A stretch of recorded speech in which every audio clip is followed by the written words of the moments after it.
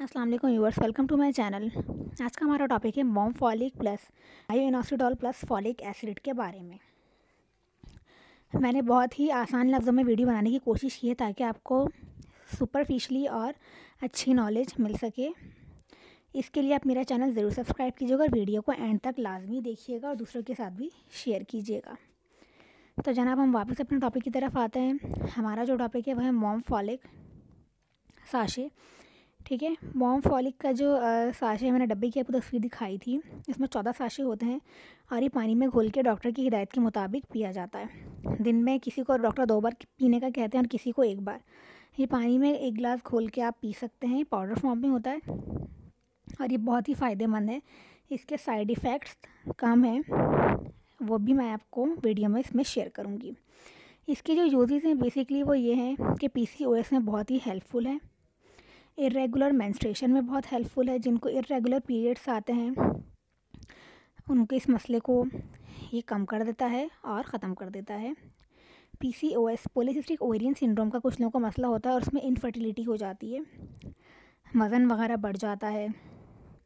ठीक है P C O S के सिम्टम्स मैंने शो किए।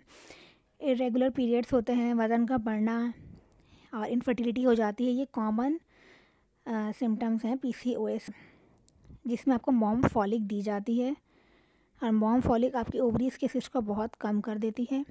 कुछ प्रेग्नेंट फीमेल्स को जो है ये दी जाती है मॉम फॉलिक ड्यूरिंग प्रेगनेंसी भी, क्योंकि उनकी बॉडी में जो है शुगर, उनकी बॉडी में जो ग्लूकोज लेवल है, बेसिकली ब्लड ग्लूकोज लेवल वो बहुत हाई हो जाता है और फिर बच्चे को भी एक्स्ट्रा ग्लूकोज जा रहा है और फिर ये होता है कि उसका वज़न जो है बच्चे का वो एक्स्ट्रा वो गेन कर लेता है, बहुत एक्स्ट्रा बढ़ जाता है। ये मैंने सेल्स की तस्वीर दिखाई है, आपको समझाने की थोड़ी कोशिश की है, इंशाल्लाह ज़रूर समझ में आ जाएगा। येलो कलर का जो उल्टा हाथ है वह है इंसुलिन और सीधा हाथ पे जो है वह है ग्लूकोज देखिए, दूसरी तस्वीर में दिखाई गई कि जब इंसुलिन बाइंड हुआ सेल से तो फिर ग्लूकोज भी हो गया। है इंसुलिन हेल्प करता है ग्लूकोज को खलिए तक सेल्स तक एंटर करवाने में, ताकि आपको एनर्जी मिल सके। मोमफॉलिक का एक ये भी है कि इंसुलिन जो बॉडी में रिलीज़ हो रहा था हमारे पेनक्रियास से, यानी लबलबे से, उसको भी बैलेंस करता है कोलेस्ट्रॉल को भी बैलेंस करता है। कुछ फीमेल्स का ब्लड प्रेशर हाई होता है और कुछ के टेस्टेस्टेरॉन यानी मेल हार्मोन बढ़े हुए होते हैं तो उसको भी नॉर्मल करता है। ब्लड प्रेशर को भी नॉर्मल करता है और मेनली हार्मोनल इम्बैलेंस को नॉर्मल करता है। कुछ इसके पॉसिबल साइड इफ़ेक्ट्स हैं। इंसोमनिया है पेट में दर्द हो जाना है, मतली आना, सर में दर्द, थकन और चक्कर।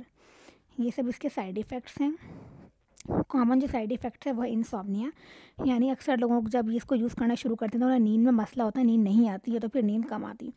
ये सब साइड इफ़ेक्ट्स हो तो अपने डॉक्टर से ज़रूर रिज्यू करें। मैंने अपनी अपनी मैं रियली स्टोरी शेयर करूँगी। मुझे भी पीसीओएस हुआ था तो मैंने मोमफॉलिक यूज़ किया डॉक्टर की हिदायत के मुताबिक। पहले दिन में दो साशे लेती थी, उसके बाद दिन में एक साशे कर दिया और जब मेरा अल्ट्रासाउंड हुआ तो मेरे ओवरीज में जो सिस्ट थे वो बहुत कम हो गए थे और उसके बाद फिर मैंने इजीली कंसीव कर लिया।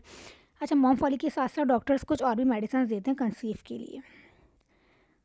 और इसके अलावा मैंने इनोसिटॉल हेल्दी डाइट लेना शुरू कर दी थी, पानी ज़्यादा पीना शुरू कर दी था। इनोसिटॉल हेल्दी डाइट में ये कि मछली खाएँ, आप अंडे खाएँ ये सब चीज़ें ग्रीन लीफी वेजिटेबल्स का इसमें फॉलिक एसिड ज़्यादा होता है ताकि आपको कंसीव करने में हेल्प दे। इसके मुझे ऐसे कुछ कॉन्ट्रा इंडिकेशंस मिले नहीं मोम फॉलिक के जो साइड इफ़ेक्ट्स थे, वो मैंने आपको बता दिए हैं ताकि आप भी इजीली कंसीव कर सकें।